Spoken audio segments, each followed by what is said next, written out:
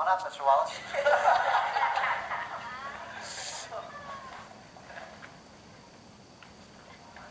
Seven x equals eighty-four. Twelve equals x. Impressive. You're actually smarter than you look. Mr. Weber, yesterday you said I was gonna end up a garbage man. That's right. If you keep cutting class, it's exactly what you'll become. But I found out a teacher makes twenty-four thousand a year, and the garbage man makes twenty-eight thousand a year. I'm gonna make four thousand dollars more than his dumbass.